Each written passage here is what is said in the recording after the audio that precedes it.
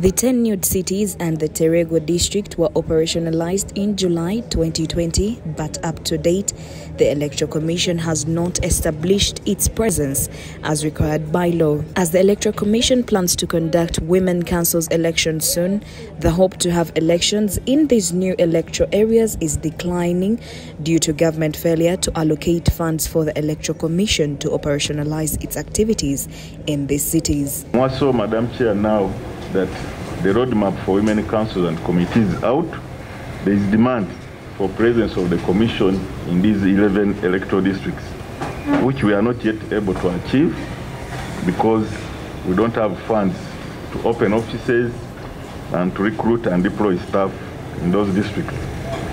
If we don't get the funds, it means we may not even be able to conduct elections for women councils and committees and maybe even LOC 1 and 2 appearing before the Parliament's Committee of Legal Affairs to defend their ministerial policy statement of 2022-2023 financial year, the Electoral Commission appealed to Parliament to push government to allocate the Commission 12 billion shillings to recruit staff in the 10 cities and Terego district and 7 billion shillings to open up offices and provide cars to the staff. We need open offices where they will sit. They need facilitation in terms of vehicles and other facilities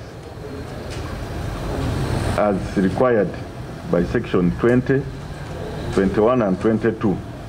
But we are not able to do that.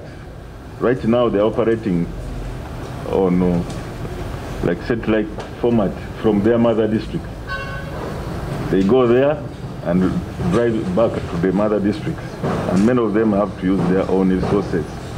So for us to be able to open offices and operationalize, we need 659 million 607,841. The Commission has also been allocated only 17 billion shillings out of 93 billion shillings they asked to conduct LC1 and LC2 elections slated to take place in July 2023 plus the Women Council elections.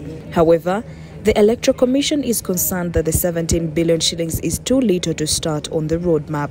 So we have included, since the elections will take place in the next financial year, we have included the budgeting component for those elections is in this current, in the coming financial year.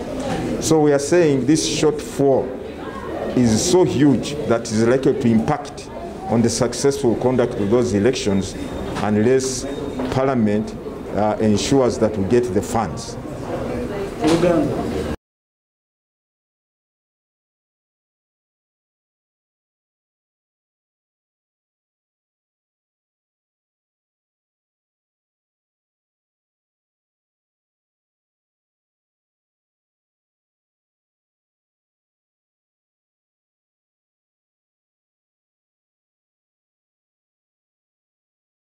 The Electoral Commission is also exploring an amendment in the law to provide for early voting for Electoral Commission officials and security agencies deployed on voting day. However, committee members questioned the early voting proposal of the Electoral Commission's implementation plan with fears that it will accumulate massive malpractices and undermine credibility of elections. What ordinarily takes place on the normal polling day for all the voters is what would apply even for early voters. For example, the agents of candidates would be in place.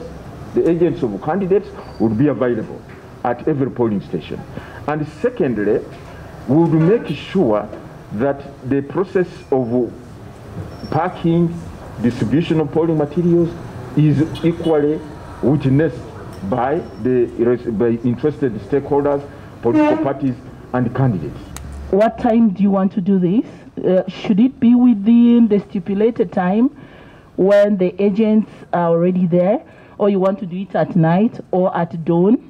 I've made early voting, and somebody sees this candidate is already having vote, then they swing towards that direction. Will you declare results early or you wait to declare them at the same time. The committee also learned that procurement of new headquarters of the Electoral Commission was halted by the IGG, putting the commission in a difficult situation as it faces eviction from its premises to provide way for the Kampala flyover project. Committee faulted Electoral Commission officials for flouting PPDA guidelines to avoid open bidding for selective bidding. Uh, Madam Speaker, Madam Chairperson, the the issue of the the headquarter. I did warn the Electoral Commission last time when we were here that the selective bidding that they had done was going to run into trouble. And they assured the committee that they will be able to navigate. So this is where we are now. Committee members also interrogated the Commission over alleged missing vehicles in the Commission's fleet. Motor vehicle number UG 0448B and is marked as missing. what does that mean? What, which you can now clarify that the former chairman and commissioners who retired went with the vehicles they were using. Leonard Mulekwa said that one vehicle was stolen. Because it was stolen, the matter is with police. We can't say how far they have gone as yet.